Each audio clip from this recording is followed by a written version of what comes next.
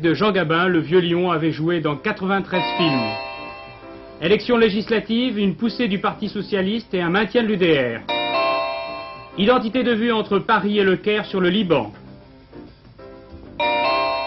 Le Beaujolais en vente en France et en Angleterre, l'arrivée de la première bouteille à Londres. Le Goncourt à Patrick Graville pour les flamboyants, édition du Seuil.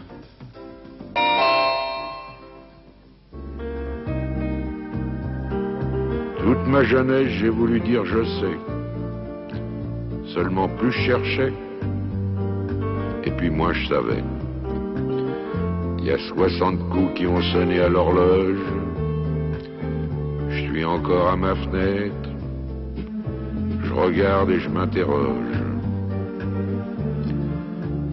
Maintenant je sais. Je sais qu'on ne sait jamais. La vie, l'amour, l'argent, les amis et les roses. On ne sait jamais le bruit ni la couleur des choses. C'est tout ce que je sais. Mais ça, je le sais. Mesdames, Messieurs, bonsoir. Cette voix, ce visage, ces visages, il faut désormais les effacer du présent. Alexis Moncorgé est mort. Nous le connaissions tous sous le nom de Jean Gabin. Ce matin, à l'hôpital américain de Neuilly, il s'est éteint de sa belle mort de vieillesse. Il avait 72 ans, 72 ans et on vous l'a dit, 93 films. Mercredi, on va l'enterrer. Je crois qu'on peut dire, comme Jean-Paul Belmondo, qu'après Bourville, Fernandel et Michel Simon, c'est le dernier grand monstre sacré du cinéma français qui disparaît. Je crois qu'on peut comprendre Michel Morgan quand elle dit qu'il avait une façon si naturelle de jouer qu'avec lui, on ne pouvait qu'essayer d'être à sa hauteur. Oh, bien sûr, il n'avait pas le caractère bien commode, bien sûr, il gabinisait, il en rajoutait sur son personnage, mais c'était quand même un sacré monument du cinéma.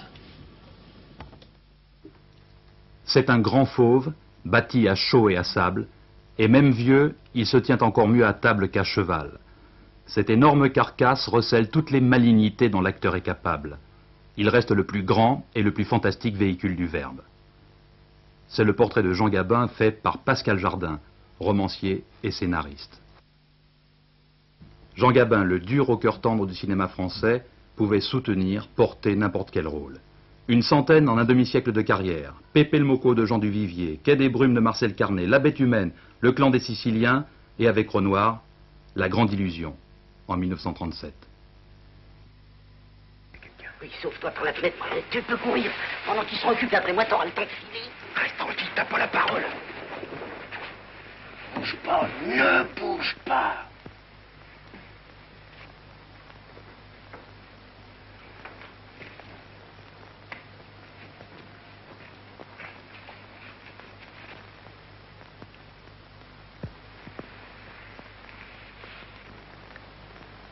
Was machen Sie hier? Français. Franzose, verstehen? Pas bandit, nicht bandit. Franzosen? Ja. Kriegsgefangene. Sprechen Sie Deutsch? Nein. Nein. Mein Fuß ist kaputt. Wir können nicht mehr. Wir sind keine Banditen. Ich habe keine Angst. Rufen Sie nur die Gendarmen. Ich laufe nicht mehr. Nicht einen Schritt. Ihr Fuß ist kaputt. Ja. Ja. Kommen Sie auch, kommen Sie auch rein ins Haus? Ah, dis donc, elle nous demande d'aller chez elle. Ah, non, non, non, non, j'ai pas confiance, non. Bon, c'est clairement d'abord une progression extraordinaire du Parti socialiste.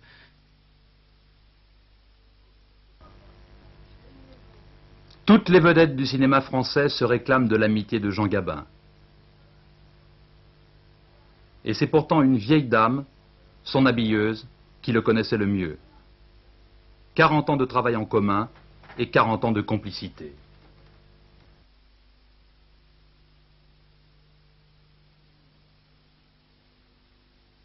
Il a été à l'usine, il a fait les, les trucs que vous connaissez. Et c'est son père qui l'a poussé à, pour aller pour aller chanter, quoi, pour aller sur la scène. Il a foutu un coup de pied dans le derrière, quoi, comme on Oui, dit. moi il m'avait dit, je trouvais pas ça naturel de le faire. Ah non, il aimait, euh, il avait une, une- il fallait qu'il se maquille, mais on ne peut pas dire qu'il avait du plaisir à se faire maquiller. Il avait horreur de ça. D'ailleurs, il avait horreur euh, de, de ce qu'on peut appeler les attouchements. Il n'aimait pas qu'on lui mette la Ah main non, sur l'épaule, qu'on l'embrasse. Il n'aimait pas que. Oh non, il n'était pas. C'était pas un embrasseur, c'était pas euh, euh, les poignées de main. euh, euh, il aimait pas. Il aimait pas les contacts comme ça. Ça lui plaisait pas. J'ai peur, j'ai peur aux premières de films. Vous êtes plutôt une grande personne quand même. Vous avez... Non, suis pas une grande personne. Chaque fois que quelqu'un arrivait, c'était pour lui demander quelque chose. C'est exaspérant, vous savez, de euh, quand vous voyez arriver quelqu'un, vous savez bonjour, tu vas bien, et puis euh, il n'y a pas quelque chose pour moi euh, ou une demande de n'importe quoi. Alors on dit c'est du mauvais caractère, mais non, c'est de l'autodéfense, comprenez-vous? Parce que c'est pas facile de jouer la comédie. Moi, par exemple, j'ai l'air très détendu, je suis toujours tendu. lui-même voulait toujours la perfection. Alors naturellement, c'était, on disait, il ne parle pas et tout. Une fois qu'il était dans son métier, dans, sur un plateau, il était dans, dans son travail. On était des heures sans parler. Alors je levais le doigt, je disais, euh, on va pas parler un peu, euh, on va pas faire ci, on va pas faire ça. Parlez pas, là, c'était un silencieux. Mais je crois que ce qui lui plaisait dans moi, justement, c'était que je ne bavardais pas. Si j'avais pas eu la, sage- la sagesse de faire attention de, euh, quand j'avais 100 balles d'en dépenser 50 et puis d'essayer d'en mettre 40 à gauche, eh ben, euh, je serais économiquement faible. Le Jean Gabin que tout le monde connaît, c'est le monstre sacré du cinéma. Mais l'homme, Jean-Alexis Moncorgé, était profondément attaché à la terre. Et l'essentiel pour lui était sans doute ce domaine, 220 hectares en Normandie, acheté pour y vivre et élever des chevaux. Son notaire savait que Gabin préférait sans doute ce métier à celui d'acteur.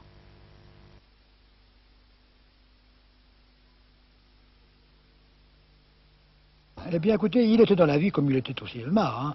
Un homme bourru, mais un homme très humain, euh, qui avait très bon cœur. Et Moi, je ne parlais presque pas cinéma avec lui parce que je ne voulais pas le fatiguer avec ça. Il était heureux de se promener dans la, dans la campagne, heureux de parler de son élevage, des cultivateurs qu'il aimait bien, malgré les- ce qu'on lui avait fait il y a une quinzaine d'années. Est-ce qu'il avait été très affecté par cette affaire? Il a été très affecté. Je l'ai vu pleurer devant moi le jour même de la- l'après-midi de, de cette affaire-là. On l'avait accu- accusé de cumuler, hein Euh, cumulé. À ce moment-là, il n'y avait aucune loi qui interdisait le cumul. Euh, Monsieur Gabin n'a jamais plaidé contre un cultivateur. Il s'est toujours entendu avec tout le monde à l'amiable. Il n'a jamais eu un procès ici avec des cultivateurs. Jamais. Oui. Mais les gens ont fini par l'admettre un Oui, peu oui, ici. On l'a adopté ici. Il, venait, il vient très souvent faire ses courses dans la région, boire un pot au café si, si- si ça se trouve. Et, et il était vraiment euh, adopté par le pays. Ici, finalement, c'était plus Moncorgé que Gabin. Ah Oui, enfin, on le connaissait, nous, sous le nom de Gabin, mais enfin, c'était l'homme de la terre, c'était l'homme de, de son élevage hein, que nous connaissions. hein. Au point de vue cinéma, tout le monde était très heureux de l'avoir dans ses films, mais enfin, on ne le connaissait pas euh, comme artiste ici. hein. Mais c'est son caractère, euh, son caractère humain, son caractère euh, terrien de la terre. Il aimait la terre, c'est ça. Et je crois, je me trompe peut-être, mais je crois qu'il préférait être cultivateur qu'artiste. Pour lui, sa, première profession, c'était cultivateur. Jean Gabin, bourru, fidèle, monument du cinéma français. De Jacques Prévert, cet épitaphe, l'acteur le plus solide et le plus fragile en même temps, sobre comme le vin rouge, simple comme la tache de sang, et parfois gai comme le petit vin blanc.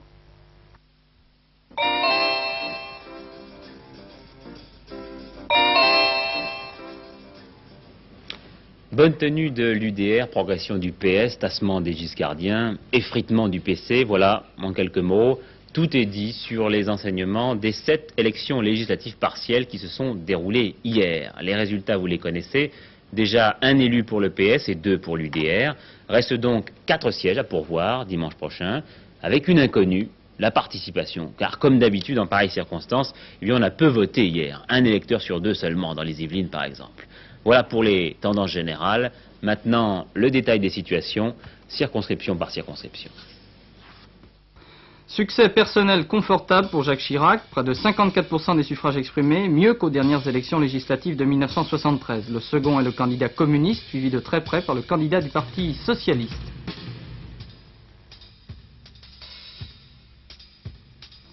Victoire plus surprenante de l'UDR Jean Tibéry dans le 5e arrondissement de Paris, plus de 54% des voix. Le socialiste devance le communiste et le candidat écologiste recueille près de 7% des votes. En Haute-Loire, c'était le deuxième tour de scrutin pour remplacer le docteur Simon décédé. Le socialiste, Louis Hérault, candidat unique de la gauche, est élu de justesse. Il bat le sénateur républicain indépendant Jean Proriol de 251 voix. Balotage en Gironde, il a manqué 153 voix à l'ancien secrétaire d'État au PTT Emma Rachid Foul pour être élu. Dimanche prochain, son adversaire sera un radical de gauche, le docteur Julien.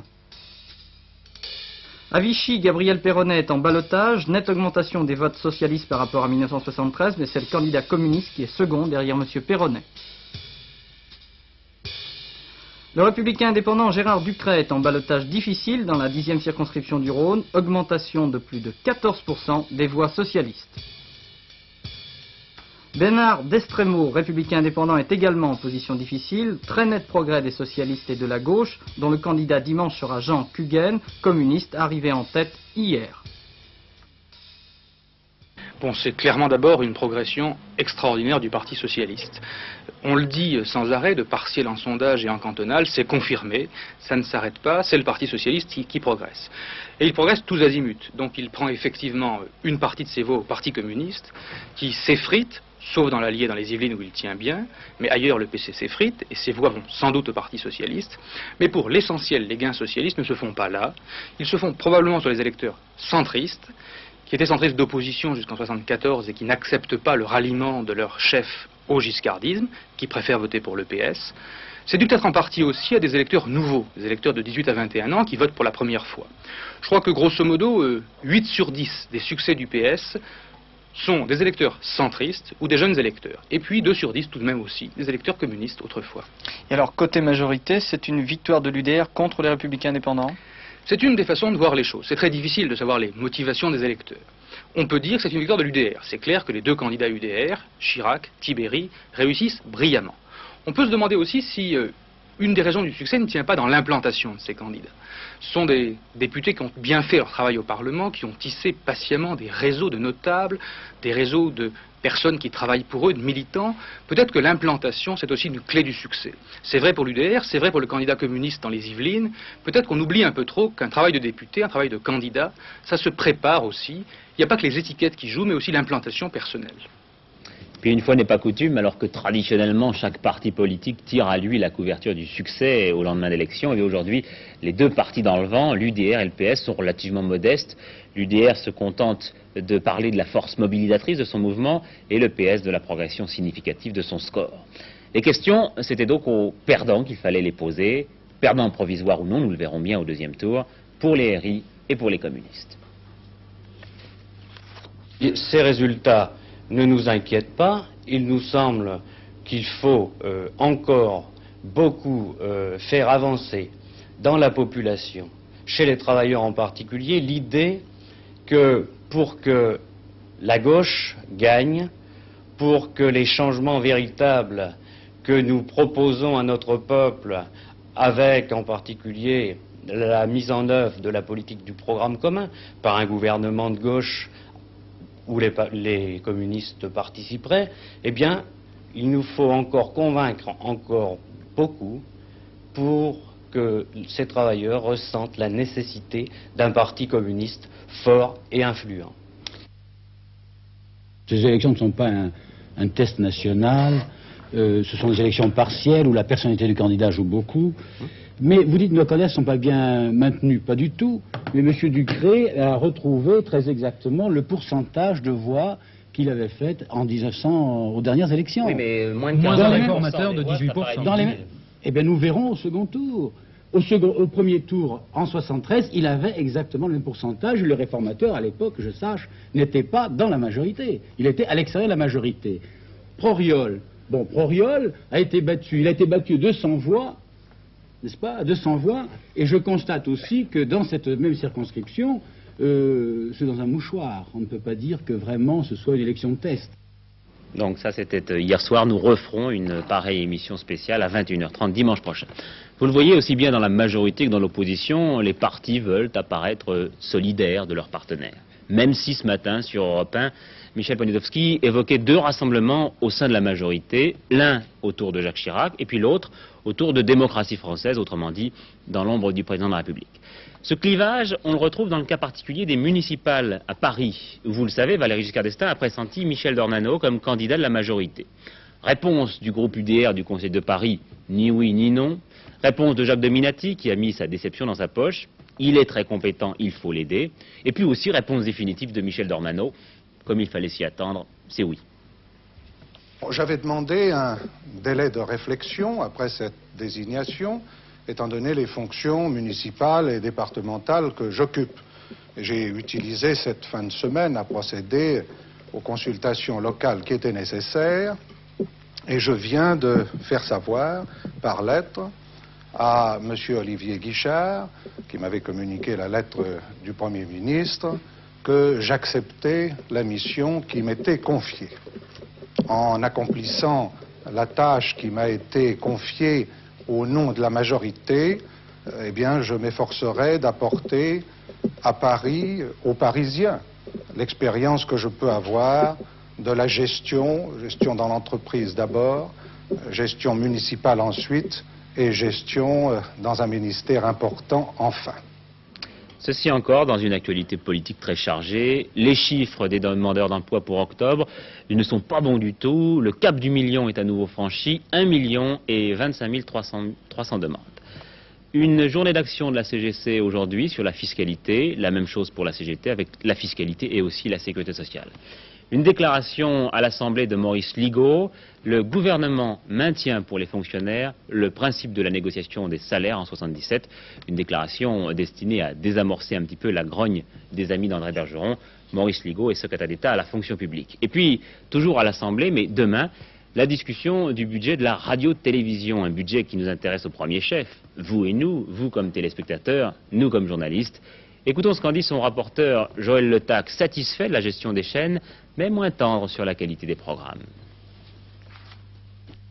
Quand je dis que j'avais vu pendant trop longtemps une série de séries américaines de basse classe, enfin de série B, et que nous avons tout de même vécu sur un acquis qui était déjà fortement épuisé, je pense qu'on a tout de même été vers une solution de facilité, qu'on n'a pas démarré assez vite les problèmes de création.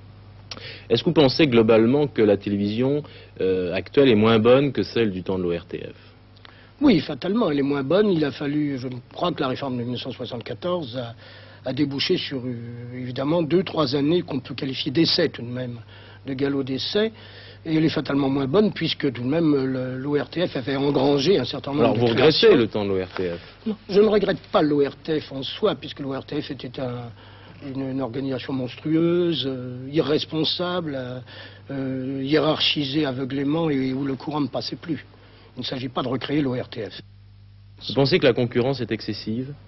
Je crois qu'elle est excessive puisqu'elle débouche sur une recherche d'audience systématique et fatalement au détriment de la qualifie. Qu'est-ce que vous attendez globalement de, la télévision dans l'année qui va suivre? Ben, Je crois, je suis tout le monde très optimiste. Il ne faut pas non plus marquer ce, couvrir la tête de cendre. Je crois que je suis optimiste parce que je sais, j'ai grâce euh, d'ailleurs à ces deux derniers jours, j'ai appris que beaucoup de projets étaient en cours, aussi bien à TF1 qu'à Antenne 2, et qui me semblent tout à fait propices à, l'esprit de création. Je pense qu'après deux années, une année d'attente, une année blanche, plus une année un peu de cafouillage, il faut le dire, nous aurons peut-être un feu d'artifice. Vous avez cité Antenne 2 ici et ailleurs d'ailleurs. Euh, on a parfois l'impression qu'Antenne 2 est une chaîne un petit peu mal comprise et souvent critiquée. Oh, elle n'est pas ni mal comprise, ni mal aimée, il ne faut pas faire de complexe. Antenne 2 est une chaîne euh, avec, qui a le visage un peu de son président, c'est-à-dire qui a une grande gaieté, une grande sensibilité, qui souffre quand on l'attaque. Et euh, je crois qu'il y a quelque chose de... C'est un parfum discret d'une certaine bourgeoisie de rive gauche qui est assez sympathique et assez Un peu de non-conformisme, c'est ça? Un léger non-conformisme. Ça ne vous inquiète pas? Le non-conformisme, quand il devient une forme de conformisme, n'est plus important. Merci, monsieur le rapporteur.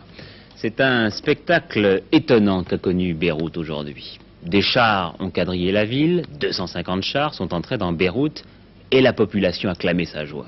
Les chars, en effet, étaient ceux des casques verts, des forces syriennes, si vous voulez, qui ont pénétré dans la ville, la rose au point. Alors les Libanais, un peu éberlués, un peu soulagés, après 19 mois de guerre impitoyable, les Libanais sont sortis dans la rue. Les chars syriens n'ont rencontré aucune résistance en pénétrant dans Beyrouth. Ils ont même été accueillis avec des fleurs et des embrassades quand ils ont traversé les quartiers musulmans. Un air de paix flottait sur Beyrouth aujourd'hui.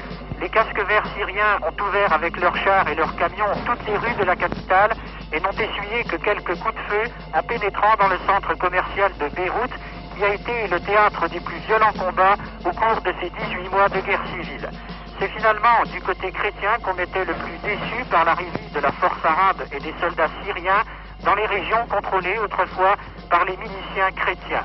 Et pourtant, on peut dire que la population de Beyrouth a accueilli avec un soulagement certain l'arrivée des forces de paix dans la capitale libanaise.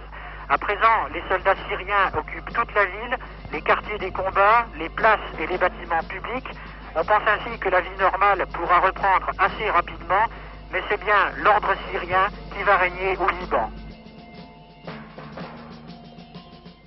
Le Liban, précisément, l'un des thèmes majeurs des entretiens de Raymond Barre avec euh, Anwar El-Sadat. Anwar El-Sadat, dont vous allez entendre dans quelques secondes une interview recueillie par notre correspondant au Caire, Pierre Serra.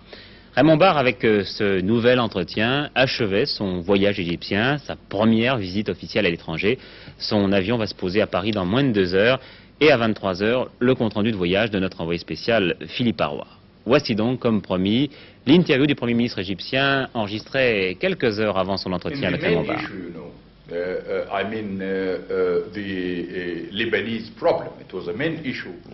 Sur le problème du Liban, nous avons, la France et l'Égypte, une position commune.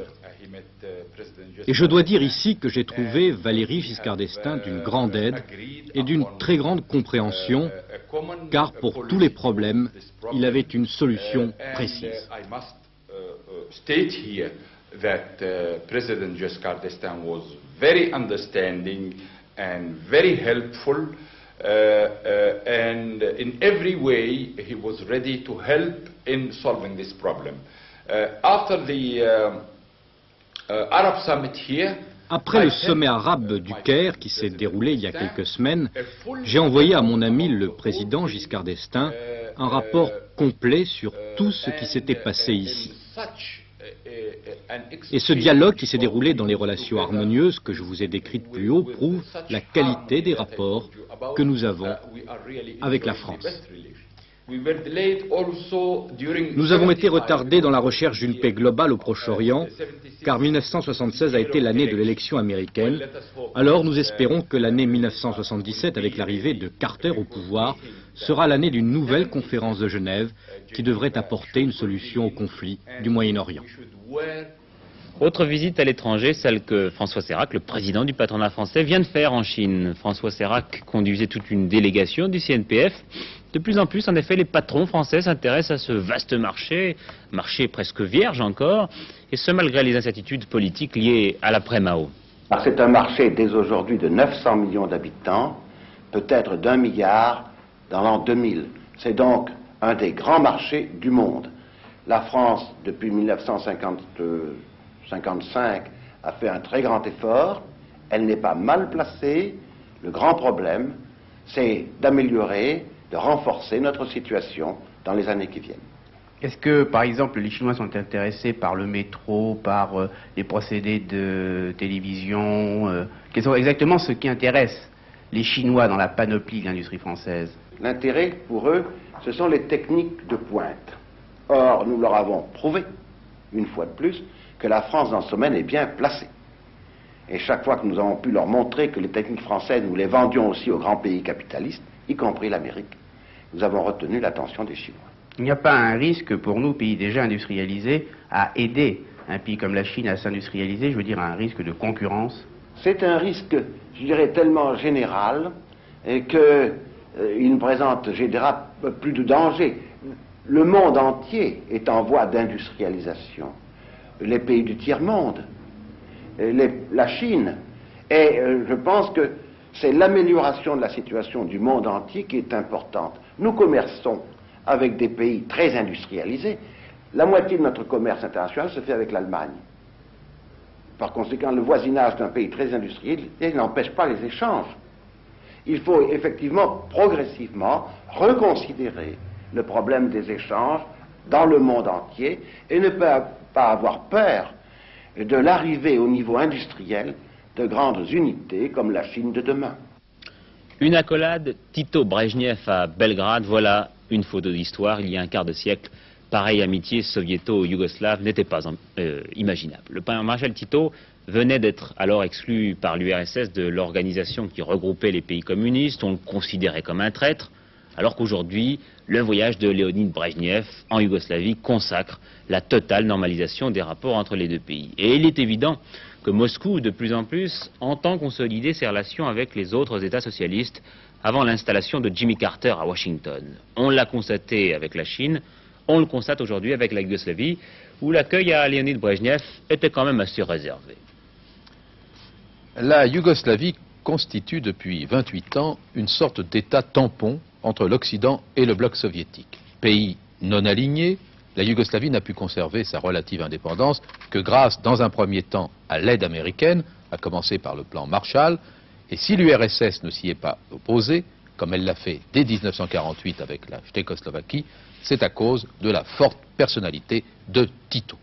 Aujourd'hui, Tito a 84 ans, les Américains se retirent progressivement. Nous ne nous battrons pas pour la Yougoslavie, a même lancé Jimmy Carter durant sa campagne électorale. En quatre ans, l'URSS est devenu le premier client et le premier fournisseur de la Yougoslavie. Son aide technique est importante. Pays pauvre, un des revenus par tête les plus bas de l'Europe, un Allemand de l'Est par exemple, vaut trois Yougoslaves à cet égard. Voici donc la Yougoslavie qui entre dans la dépendance économique du bloc soviétique de la dépendance économique à la soumission politique, la distance se mesure-t-elle pour ce pays au nombre de mois qu'il reste à Tito à vivre? On peut se poser la question. D'autant que, champion de l'indépendance nationale, le vieux maréchal est aussi le garant de l'unité de son pays, une unité bien fragile du fait des nombreux peuples qui le constituent ce pays. Un pays divisé est toujours plus facile à soumettre. Voilà ce qui se profile derrière cette visite de Brejnev à Belgrade, la première d'un dirigeant soviétique depuis dix ans.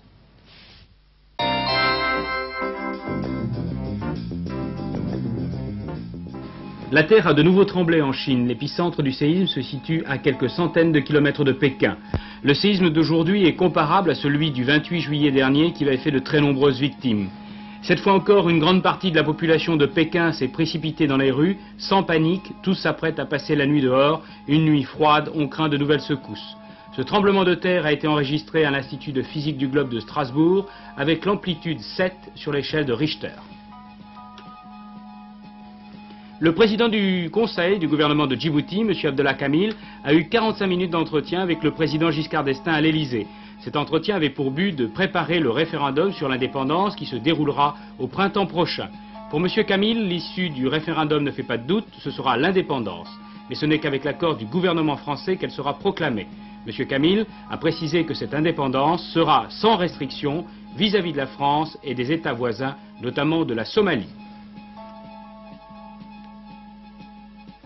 Coupe du Monde, on connaît la composition de l'équipe de France de football qui rencontrera l'Irlande du Sud mercredi soir au Parc des Princes. Deux changements chez les Français par rapport à la formation qui a joué contre la Bulgarie. Rocheteau retrouve son poste d'ailier droit et Kérusoré de Laval jouera au milieu du terrain. Le sélectionneur a donc préféré Kérusoré à Santini, mais euh, sans doute le capitaine stéphanois fera son apparition en cours de partie contre les Irlandais, match retransmis en direct sur Antenne 2 à partir de 20h30. 15 novembre, c'est le jour du Goncourt, c'est aussi le jour du Beaujolais, du Beaujolais nouveau. Ne vous méprenez pas trop, derrière moi, c'est bien Jimmy Carter qui est en train de boire notre Beaujolais, mais la photo date d'il y a 4 ans. Le Beaujolais nouveau, cette année, n'a pas encore eu le temps de franchir l'Atlantique. En revanche, il a déjà franchi la Manche à l'issue d'un pari, d'un concours, vous allez le voir, assez cocasse.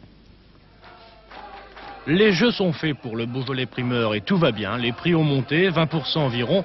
Mais en quelques semaines, les 170 000 hectolitres que représente cette récolte primeur 76 seront écoulés. Les Français vont en boire la moitié et dans l'ordre les Suisses, les Allemands, les Belges et les Anglais l'autre moitié.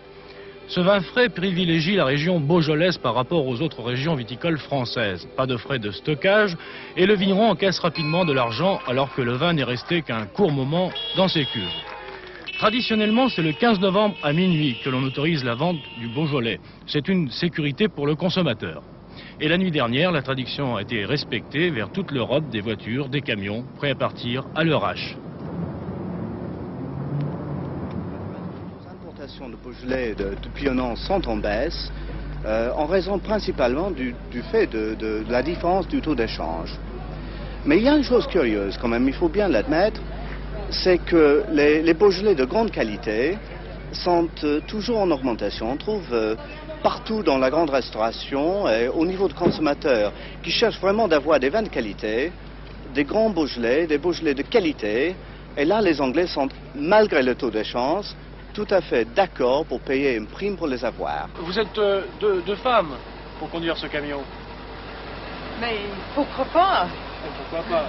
C'est un camion qui, qui transporte combien de tonnes de Beaujolais? C'est c'est énorme. Nous avons en, euh, 1100 boîtes. Et oui, parmi tous les coureurs Miss Truck, Miss Camion 76 en Angleterre, avec pour copilote une autre femme sur le trajet Macon-Londres et bien sûr le plus rapidement possible. Au volant de leurs 38 tonnes, ces deux demoiselles anglaises ont réussi une belle performance. Macon-Calais à la moyenne de 90 km heure. Elles sont arrivées à Londres avant les voitures particulières pour mettre le Beaujolais à la disposition des amateurs britanniques. Que pensez-vous du Beaujolais 76 Euh, J'aime le Beaujolais 76. C'est magnifique. Ben, il est excellent, nous sommes très contents. Euh, il est égal au 69. Oh, quel vin Vraiment, ça fait plaisir de voir.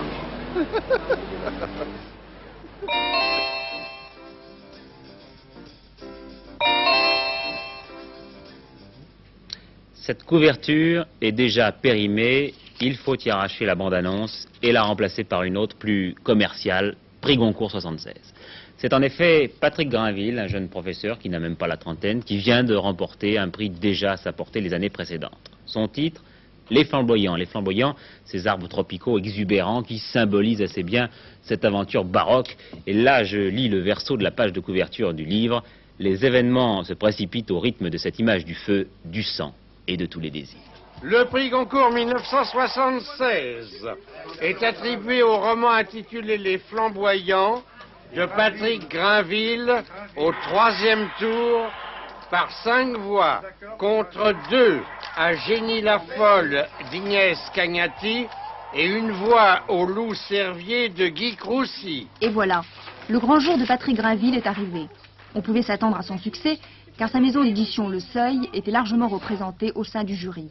Mais aujourd'hui, le Goncourt est plus une bataille entre éditeurs qu'entre écrivains. Mais au Seuil, on fait la surprise. Les premières bandes, avec la mention glorieuse Goncourt 1976, ont paraît-il été commandées à 13h. Et déjà, deux heures après, on coupe et on colle dans l'euphorie.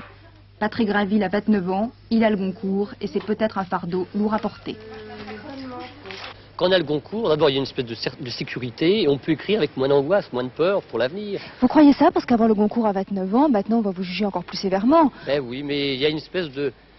Je suis content que les flamboyants aient eu le Goncourt parce que c'est le roman que je préfère. Alors j'aime autant que ça soit- fixé sur les flamboyants.